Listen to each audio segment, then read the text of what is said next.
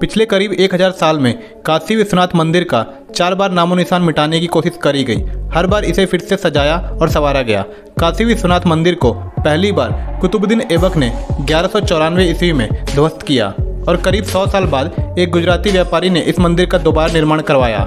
काशी विश्वनाथ मंदिर पर दूसरा हमला जौनपुर के सुल्तान महमूद शाह ने चौदह ईस्वी में करवाया था। पंद्रह ईस्वी में अकबर के नौ रत्नों में से एक राजा टोडरमल ने मंदिर का पुनर्निर्माण करवाया। 1642 ईस्वी में शाहजहां ने काशी विश्वनाथ मंदिर को ध्वस्त करने का आदेश पारित किया।